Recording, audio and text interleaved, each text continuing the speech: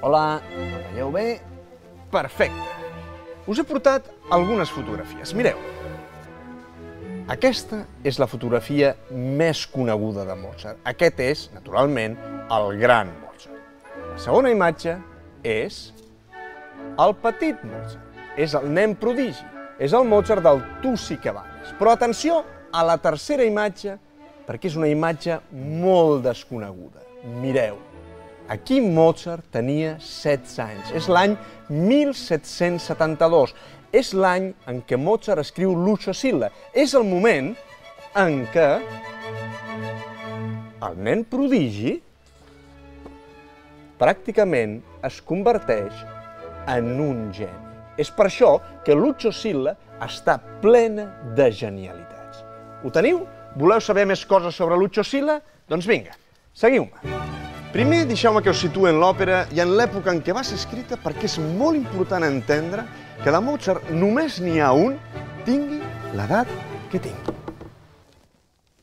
Perfecte, seguiu-me, seguiu-me, seguiu-me. Mireu aquests dos objectes. El primer, una columna clàssica. Mozart viu en ple classicisme. Això vol dir àries de capo, personatges arquetípics, estructures rígides i el segon objecte, el cap. L'òpera està basada en la vida del dictador republicà romà Lucius Cornelius Sila, un dictador.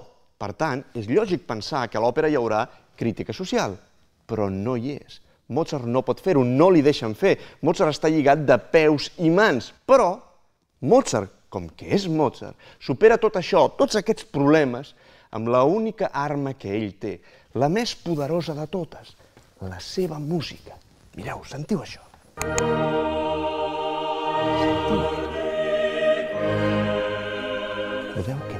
és un esperit universal.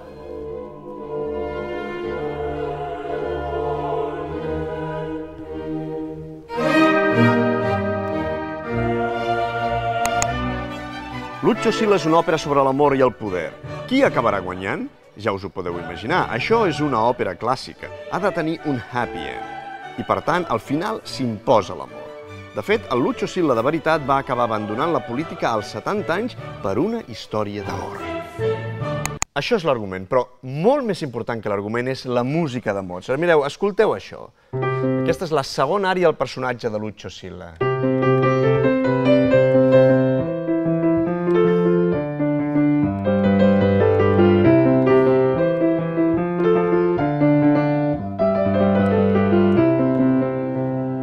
Maca, eh? I ara deixeu-me que us busqui a internet una coseta per vosaltres, la pàgina web de Klaus Guth, que és aquesta.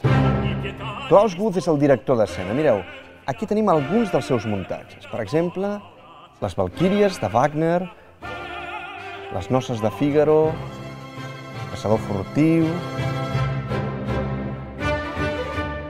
Così fan tutte, també de Mozart, i el nostre Lucio Silla. Klaus Guth és un dels grans directors teatrals del moment. Klaus Guth més Mozart igual a resultat sorprenent. I ara escolteu un moment que m'encanta, el duet entre els dos amants. És aquest. Són dues sopranos perquè originalment el paper masculí estava cantat per un castrato. Escolteu, escolteu. Escolteu com aquestes dues veus es fonen. Aquí Mozart només té 16 anys. 16 anys, però ja és Mozart. És exactament com Joan Miró. Si voleu comprendre tota la seva obra, necessiteu conèixer el quadre La Masia. Perquè aquest quadre, per si sol, exactament igual que Lucio Silla, és genial. Per tant, aneu al teatre a trobar Mozart i ja veureu que serà Mozart el que us trobarà a vosaltres. Ens veiem al Liceu.